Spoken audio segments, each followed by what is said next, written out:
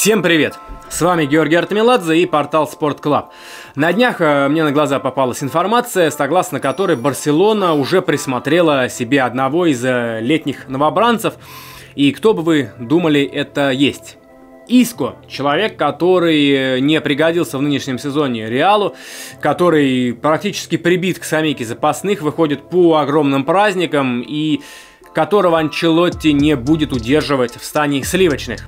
А, эту информацию распространило испанское издание Sport S. Э, назвать его желтушным язык не повернется, но это что-то между Daily Mail и Телеграфом, скажем так, если на английский манер. А, Севилья еще один претендент, э, ощутимый, по мнению журналистов, на Иско. Команда хочет подписать э, с испанцем контракт, но Иско до последнего, как пишут в прессе, будет пытаться склонить Реал к продлению своего контракта.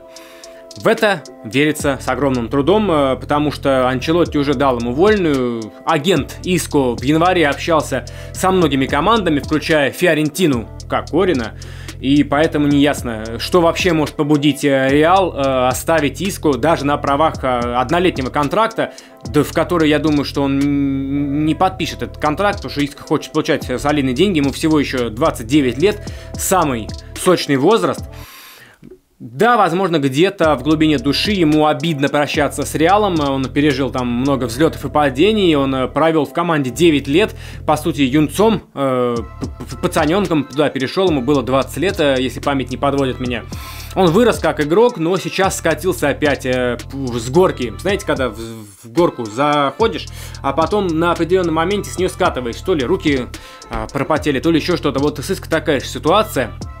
Он в сборной Испании играл и довольно неплохо выступал в Ла Лиге в составе Реала, забивал, э, штрафные у него были классные, передачи отдавал, но сейчас забуксовал. Я не знаю, что у него в голове, возможно, э, какие-то личностные проблемы у него есть, э, о которых он не говорит в прессе. Возможно, конкуренция свою роль сыграла, потому что Иска у нас левый вингер, да, на флангах у Реала очень крутые футболисты, тот же Бейл, даже в, в травмированном своем состоянии, Винисиус, сомнений нет, э, что бразилец намного лучше, чем испанец. Если мы говорим об Иско как об атакующем хабеке, да, о игроке средней линии, то куда его интегрировать? Кросс, Казимира, Модрич. Как не варьируй, вот эти три столпа, это три человека, на которых держится мадридский мир, можно сказать так. Это, ну, как три кита потому что я не, не понимаю просто, как можно вставить состав иска, если эти ребята э, пребывают в кондициях. Тем более того же Модрича и Казимира часто меняет уругвайец Вальверде, то есть э, Иска номинально даже и не четвертый, а пятый или, наверное, шестой э, выбор у Анчелотти на этой позиции. Если мы говорим о Барселоне, то посмотрите, кто команду покинет. По сообщениям испанской прессы уйдут Де Йонг, Депай, Брайт Вайт. То есть сразу три легионера, и это очень показательный момент, на мой взгляд, потому что в Испании нет такого, скажем так, дикого лимита, как в той же, например, России, или правила доморощенных футболистов, как в Англии. Но все равно э, три легионера уходят, и нужен будет, наверное, испанец. На скамейку, я думаю, на скамейку, потому что в Барселоне тоже средняя линия очень хорошая. Я не вижу пока э, за счет каких качеств Иска может оказаться в основном составе Барсы. Э, вы скажете, а как э, игрок Реала уйдет в Барселону? Да все очень просто. Ну, это противостояние исторически такое мощное, масштабное, Эль Классико, оно сейчас только на бумаге, к сожалению.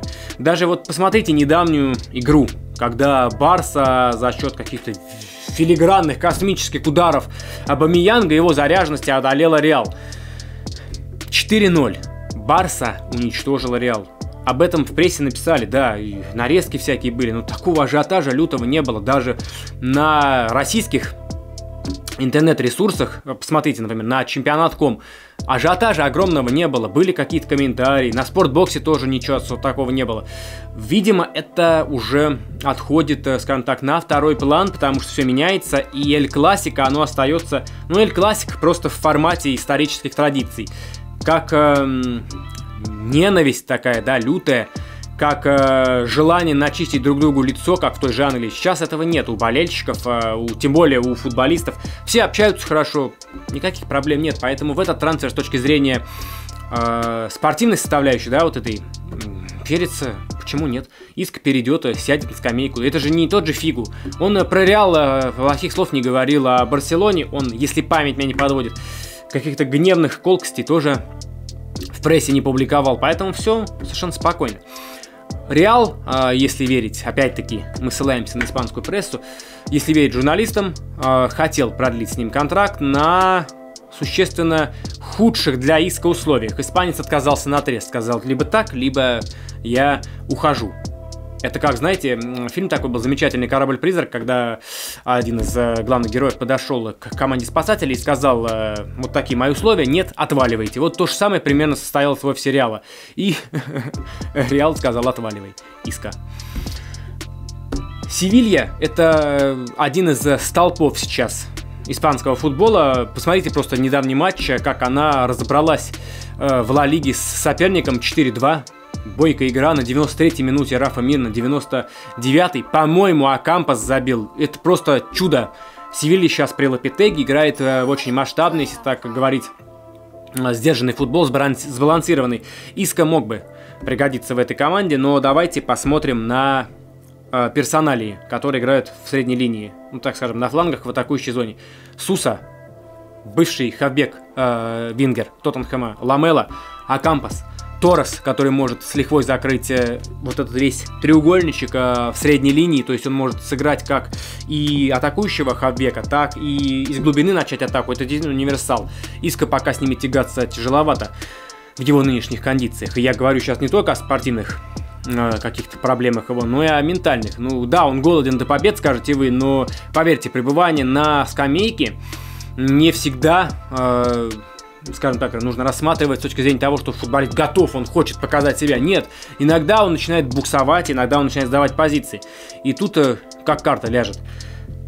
Я, честно, верю больше в трансфер Иска в один из клубов Италии. Солнечная страна, развивающийся чемпионат – очень много команд э, среднего такого уровня, э, которые готовы предложить ему неплохие условия. Ведь э, посмотрите на серию А. Ну, если мы убираем Салернитану, который занимает последнее место, все остальные команды очень сбалансированы, они друг за дружкой идут, и да, есть какие-то очковые разрывы, есть гандикап, который нужно отыгрывать там командам из зоны вылета, чтобы спастись. Но все равно, вот я сколько смотрю итальянского футбола, нет такой пропасти какой-то лютой, как, например, было 10 лет назад. Все очень э, тихо, что ли. Даже тот же Ивентус не всегда кажется командой, которая может э, биться за чемпионство, там, за Лигу чемпионов. Она кажется средняком по игре. И Иск вполне может интегрироваться э, в один из этих клубов. Что думаете по этому поводу вы, дорогие друзья? Нужен ли Иска э, Барселоне, нужен ли он Севилье и самый главный вопрос, останется ли он в Реале по окончании сезона. Ведь еще все можно поменять и можно подписать контракт в любой момент, даже будучи свободным агентом. Обязательно пишите мнение в комментариях. Всем спасибо за внимание, пока.